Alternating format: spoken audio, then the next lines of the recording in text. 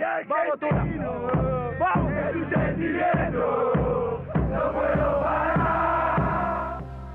El hincha argentino es único en el mundo, no existe. Nosotros ocupamos todas las canchas del mundo. Los únicos locos que estamos en, en todos lados somos nosotros argentinos.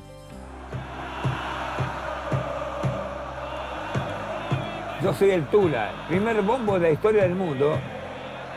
Cuando se jugó el Mundial de 74 en Alemania, el primer bombo que entró en la historia del mundo soy yo. Es un sentimiento. No hay otra hinchada más, más pasionaria.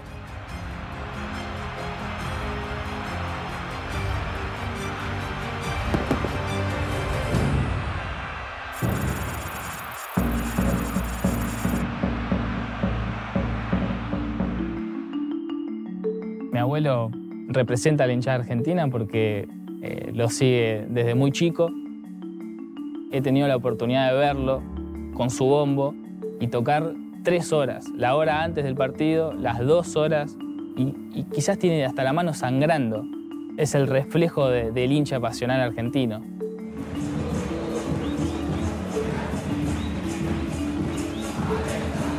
como hincha de fútbol, que la selección argentina tenían un bombo ellos y y ellos se alentaban con un bombo. Mirá lo que llegué yo. El creador del bombo soy yo.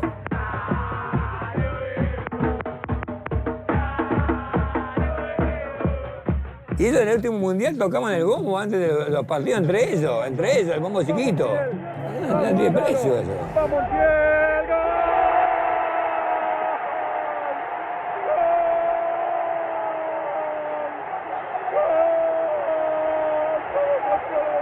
El día de la final, eh, mi abuelo estaba atrás del arco y el Kun Agüero estaba en la misma tribuna donde se sentaba mi abuelo. 36 años. El Kun Agüero entra al campo de juego a festejar con la selección argentina y después inmediatamente vuelve hacia la tribuna a pedirle el bombo. El bombo mío, esa que está ahí, ese, eh, está con otro dibujo, este es nuevo este dibujo. Y él tocó mi bombo, aquí lo tocaba la selección y es increíble. Verlo al Kun Agüero festejar con la selección argentina y el bombo de mi abuelo, eh, la verdad que fue hermoso. La historia de mi abuelo no se puede separar de la, de la selección argentina. Mi abuelo acompañó a la selección durante muchísimos años y la emoción que sintió por Qatar, inclusive con sus problemas de la pierna, eh, fue incomparable para él. Más que nada por el reconocimiento también de, de los demás países hacia con nosotros. Eh, este amor que le tienen a, a Messi y a la selección argentina, mi abuelo también lo sintió, entonces fue algo histórico para todos nosotros y más que nada para mi abuelo vivirlo en carne propia.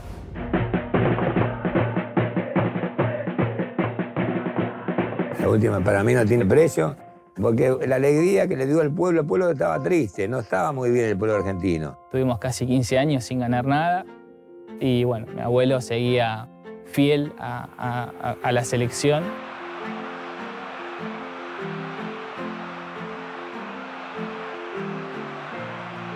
Ese día eh, eh, todos los argentinos eh, festejaron, en Buenos Aires había más de 5 millones de personas, no hay ningún país del mundo que lo haga.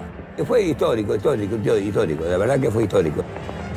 Único, nosotros yo soy uno más de los miles que tuvimos eh, alentando a Argentina. The best fun award will go to A mí me dieron el premio, pero yo soy uno más que alentaba. Argentinian National Team Fans. Muchachos. Me lo dieron a mí, pero que ser más viejo, más conocido, qué sé yo, no sé. Primero estaba sentado Messi con la señora. Digo, Messi, digo, vos, digo, vos sos un ejemplo para, para el mundo. Después de ahí me firmó y estuvo ahí estaba con Roberto Carlos, la señora de Pelé, los campos del mundo. Era igual que recibir un Oscar, ¿te das cuenta? Y yo un negrito de, la villa, de abajo, recibiendo ahí con todos los honores, con los más grandes del mundo.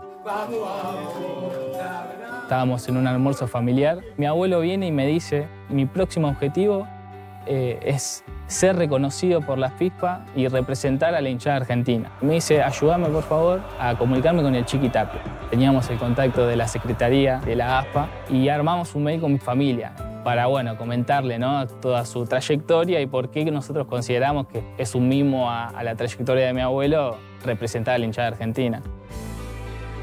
A Messi no le habían dado todavía el premio. Digo, ganamos todos los premios y, y Messi no habían dado el premio todavía.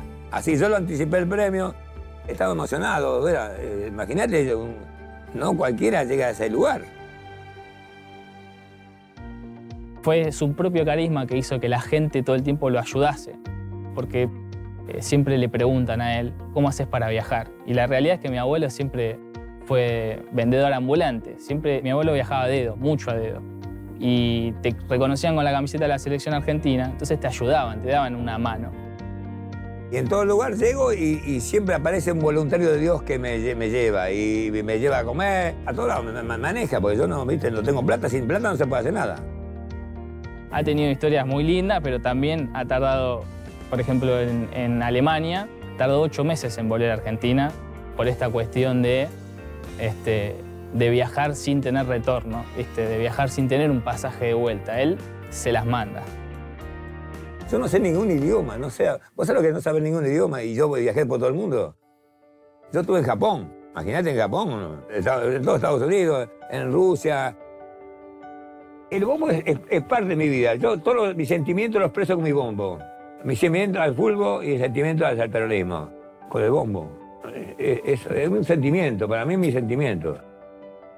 Explicar lo que es la pasión por el fútbol es difícil, pero, pero es prácticamente su vida. Eh, Desde chico salía de la casa, él nació en Rosario y el fútbol era lo que lo sacaba de la calle un poco, ¿no? Mi familia muy pobre, mi papá trabajaba en obras sanitarias, cavaba soja, eh, cavaba los, para meter los caños, ¿cómo se llama eso? Bueno, él trabajó toda la vida, toda, toda la vida. Bueno, y él, mi viejo, me llevó a ver Central, que era fanático Central, año 1950. Y hasta ahora fui de Central, soy hincha de Central. vivía a tres cuadras de la cancha y un día simplemente notó que de- dentro de, de lo que pertenecía a la hinchada había una persona que había dejado de tocar el bombo. ¿viste? Entonces él lo notó enseguida, se ofreció voluntariamente para, para poder hacerlo porque le llamaba mucho la atención y se lo entregaron. Apareció uno que tocaba el bombo, ¿viste? Y se cansó, lo agarré yo y nunca más ahora. Y fue por eso que, que bueno, hoy es el Tula y su bombo. Este es el primer bombo que estuve en, la- en el Campeonato Mundial de 74 de Alemania. Alemania 2006. Este lo empiezo a llevar para que me lo firmen todos los jugadores. Este bombo me lo regaló el General Perón, Messi y Diego. Mi abuelo tocaba el bombo para la central obrera. También de chiquito tuvo como ese seguimiento a Perón y a Evita. Un poco porque Evita le regaló su primera bicicleta y, y quizás la única bicicleta que tuvo en su vida. Y fue por eso que a partir de ahí su objetivo de vida era conocerlo a Perón y, y regalarle un bombo. Yo no estoy afiliado al Partido Justicialista, para empezar. Nunca ocupé un cargo político. Y gano la mínima. Ese es mi currículo. Se le dio la oportunidad en 1971, eh, que fue cuando viajó a España, que bueno, Perón lo recibió. Inclusive Perón le regaló un bombo a mi abuelo, que es hasta el, día de hoy el que sigue teniendo, el histórico, el que vemos todos. Me fui a la televisión y digo, bueno, yo quiero regalarle mi bombo al Perón. Y, quiero que me ayuden. ¿De qué forma? Me firmen el parche del bombo. Y cada firma me dan plaguita. Entonces iba por, todos los años, los jugadores, los todos, todo me firma. Con eso, barco. en un barco, Portugal, es el lugar que yo me bajo siempre, Portugal. Ahí tomo un tren, tu, tu, tu, Madrid. Te van a Perón en Puerta de Tierra. Llego una, una cuadra antes, empezó a tocar el bombo. Vine, usted, señor, vengo a regalarle el bombo, a Perón día de la lealtad. No entendían nada de lo gallego. Tocaron el timbre. Mm, Me estaba esperando Perón y Rucci. Cuando había Perón me, me aflojé. quedé. Rucci se aviva, Rucci, lo deja el general, viene y me, agarra el hombro. Y llego yo voy con la cabeza abajo. General, este compañero se vino haciendo sacrificio para regalarle el bombo a usted en el día de la lealtad. Perón baja la mano y me dice, medio llorisqueando, yo he tenido menta suya, mijo. Mentas mía, una palabra gaucha, no sé qué me... Se emocionó. Y él me regaló un bombo inglés, buenísimo, de plástico. 17 de octubre del 71, el día de la lealtad.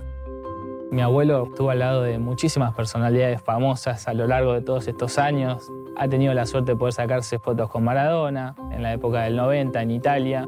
Bueno, con Messi también de muy chiquitito. Estuve con el Papa Francisco, me recibió en audiencia. Estuve con Juan Pablo también. Me acuerdo que en el 2000 se fue a pasar Año Nuevo a Israel. Tocó el bombo en una mezquita. O sea que se lleva bien con todas las religiones él, ¿viste? Esta bandera la clavé la Malvina y le canté la marcha peronista, con esa bandera que vos sabés ahí. Y fue emocionante, la verdad que viajar con, esto, con unos combatientes que combatieron la Malvina, estuve allá.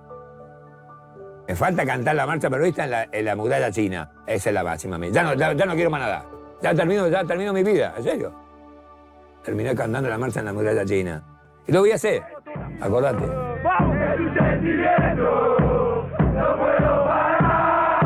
Soy argentino, es un sentimiento. No puedo... Venga, te quiero más. Y, y toda la Y después, el que nos salta es un inglés. ¿eh? Esas son las más cantadas, ¿o no? Es verdad, no hay otra.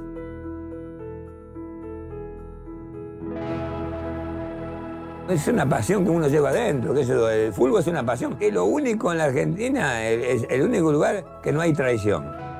Porque vos viste un hincha de boca no se vaya de River. Un River de, Central no se va de Nube. Es la única que no, el único lugar que no hay traición en Argentina es en el fútbol. Es eh, un estilo de vida, eh, la pasión por el fútbol. Esta selección para mí eh, se lo debe a quién? Al entrenador. Porque él hizo una familia.